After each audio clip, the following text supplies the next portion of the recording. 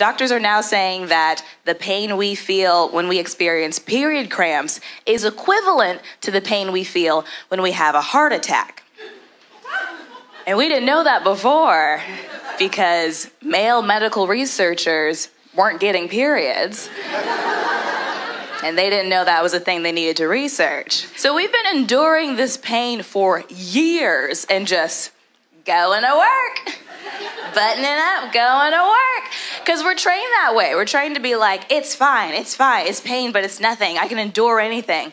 And we can. But that doesn't mean we have to ignore the way our body feels. And I think these tampon commercials are detrimental. They're always like, oh, you're on your period? Don't let that stop you, girl. Get out there. Go surfing.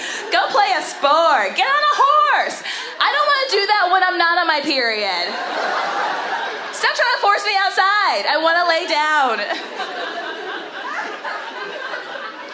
if you saw a man bleeding uncontrollably and having a four day long heart attack, you wouldn't be like, don't let that stop you. Get on.